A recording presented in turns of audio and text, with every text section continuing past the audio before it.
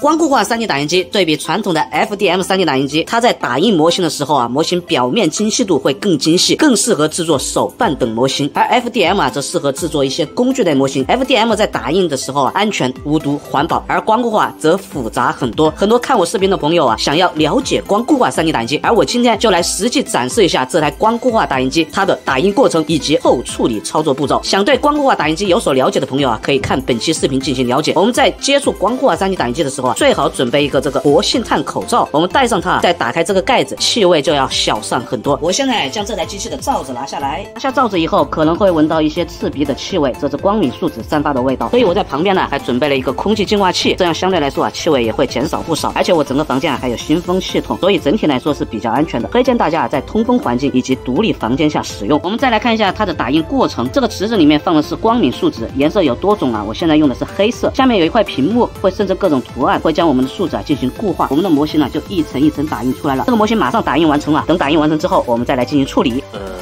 打印完成了，我们来看一下，将模型取出，这就是我们光固化打印的模型。像这样的模型呢，打印时间花了七个小时，可以说是非常快了。现在我们用开刃的铲子啊，将它铲下来。其实我们也可以准备一个一次性的塑料盒或者废弃的纸盒子。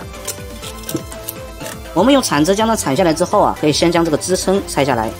这边这个支撑啊也拆下来。然后我们找来百分之九十五以上的酒精，将我们这个模型呢放进去清洗。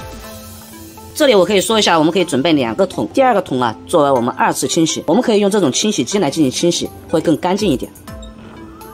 使用固化机清洗完成之后啊，我们就可以拿出来进行晾干。这固化机啊真的非常好用，不仅能够清洗，还可以二次固化。我们等待几分钟晾干完成之后啊，这个模型还无法使用，我们需要二次固化。我们将它放到二次固化机上面，也可以自己来 DIY 做一个二次固化机。然后我们调整这个模式，然后将时间呢改到三分钟。接下来罩上这个罩子，点击启动，好，就开始二次固化了。光固化打印的模型啊，必须二次固化，表面才会变得非常坚硬，就不会软绵绵的。